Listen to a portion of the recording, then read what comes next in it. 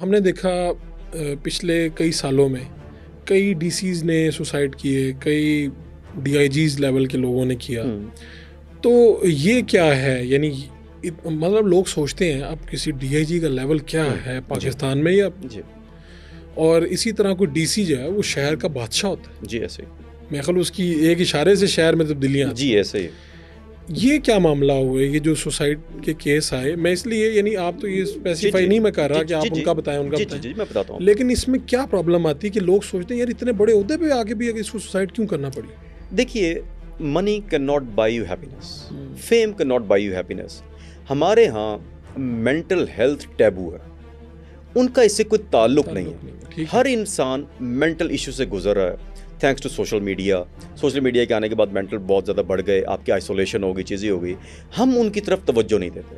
अगर मैं आपको कहूँ ना कि मुझे आगे कोई कहे तैमूर यार जाओ और थोड़ा सा ना तुम अपना मेंटल हेल्थ पे काम करो सेक्रेटरी को दिखा दो मैं माइंड कर जाऊँ. हाँ मुझे लगता है हम सारे इस मसले में हैं। जी सारे इस मसले में हैं। ऊपर नीचे हो सकते हैं। जी बिल्कुल ऐसा ही है। तो वो हम उसको रिकग्नाइज नहीं करते और जब रिकग्नाइज करते हैं बहुत देर हो चुकी होती है।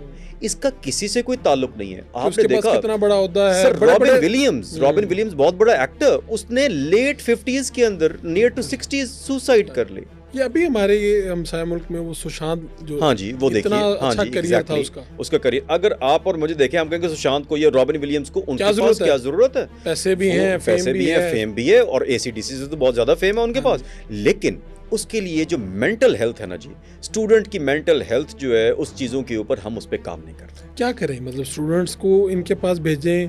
हमारे यहाँ तो कुछ स्ट्रक्चर नहीं है नई स्ट्रक्चर हम्म। ना। हमारी यूनिवर्सिटीज के अंदर काउंसलिंग सेंटर्स होने चाहिए करियर काउंसलिंग भी और साइकोलॉजिकल काउंसलिंग भी। ये रेगुलर आप बच्चों को करते रहें ताकि बच्चों को इतना वेंट तो दें कि वो आके आपको बताएँ।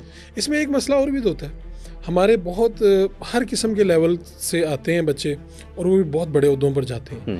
बज़ दफ़ा ये भी तो होता है कि हमारे कुछ ऐसे हैं ऑलरेडी या तो बहुत अमीर हैं जिनके हम्म। बच्चे यहाँ पर मौजूद हैं हम्म, या बड़े ऑफिसर्स हैं जिनके हम्म। बच्चे इन उहदों पर आए जब एक नीचे से आता है तो वो एक अपना कम्प्लेक्स भी साथ लाता है बच्चा।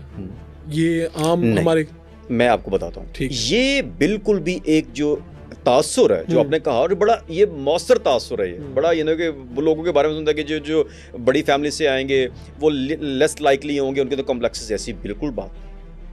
आपके जो सिविल सर्वेंट्स आ रहे हैं जो लोअर क्लास से आ रहे हैं मैं मिडिल क्लास की बात नहीं कर रहा। अच्छा। वो इंतहाई अपराइट और जो है ना उस पर करने वाले हैं। मैं बहुत सारों को जानता हूँ। Let's not to be named हाँ आपकी बात दुरुस्त है। वो आप दूसरी उस पर आ गए।